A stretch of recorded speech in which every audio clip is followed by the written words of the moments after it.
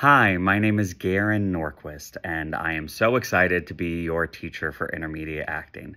Um, a couple quick things about me. I have a BFA and an MFA in acting. I've been acting for about 18 years, teaching, writing, directing, and uh, yeah, just a lover of theater in general. Um, what I am so excited to do and be a part of in this class is it's a huge belief of mine that the more we take care of ourselves and the more we know ourselves, the better work we do as artists. Um, it uh, I grew up in a lot of theater spaces that were very shame based and breaking you down to make you do your best work, and that is not what I believe in anymore. I think that even in the times where I did do the best work in those situations, it wasn't sustainable or good for me, and I think I've done the best work of my life.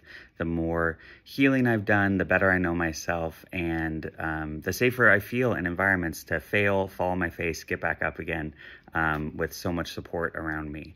Um, so in our time together, that is what I'm going to be focusing on is how can we get to know ourselves, explore stuff, fail? How can we get rid of the stigma around failure that um, when we don't do it just right, um, it's not good enough or we aren't inherently good enough you're already good enough and it's just about finding more ways to explore and play and create.